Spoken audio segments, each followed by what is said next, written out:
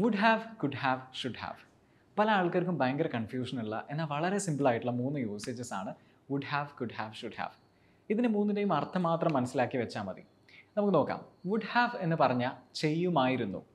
I would have done that I would have done that ഞാനത് ചെയ്യുമായിരുന്നു. He would have done that അവനത് ചെയ്യുമായിരുന്നു. ഇനി ഷുഡ് ഹാവ് എന്ന് പറഞ്ഞാൽ എന്താ? ചെയ്യണമായിരുന്നു. ഇത് ചെയ്യുമായിരുന്നു മറ്റത് ചെയ്യണമായിരുന്നു. I should have done that ഞാനത് ചെയ്യണമായിരുന്നു. He should have done that അവനത് ചെയ്യണമായിരുന്നു. He shouldn't have done that അവനത് ചെയ്യരുതായിരുന്നു.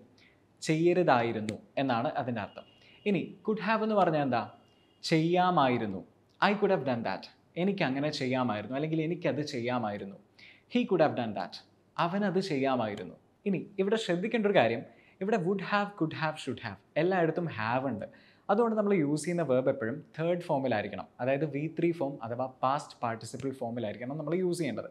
ഫോർ എക്സാമ്പിൾ ഞാനിപ്പോൾ പറഞ്ഞ പോലെ I would have done that I would have do that അല്ല ഡൺ ദാറ്റ് ആണ്. ഡൂവിന്റെ വി ത്രീ ഫോമാണ് ഡൺ അതേപോലെ സിറ്റ് ആണെങ്കിൽ സാറ്റ് സിറ്റ് സാറ്റ് സാറ്റ് അങ്ങനെയല്ലേ? അതുപോലെ ഡ്രിങ്ക് ആണെങ്കിൽ ഡ്രങ്ക് വി ത്രീ ഫോമാണ് നമ്മൾ യൂസ് ചെയ്യുക. ആ ഒരു കാര്യം മാത്രമേ നമ്മളിവിടെ ശ്രദ്ധിക്കേണ്ടതുള്ളൂ. I would have done that I could have done that I should have done that ഇത് നമ്മൾ കൂടുതലും യൂസ് ചെയ്യുന്നത് കണ്ടീഷണൽസിലാണ് ഇഫ് ക്ലോസ് ഒക്കെ പഠിക്കുന്ന സമയത്ത് നമ്മൾ കൂടുതലും കേട്ടിട്ടുണ്ടാവും. തേർഡ് കണ്ടീഷണലാണ് നമ്മളിത് യൂസ് ചെയ്യുന്നത്. അപ്പോൾ ഇത് മനസ്സിലായെന്ന് വിചാരിക്കുന്നു. Thank so much for watching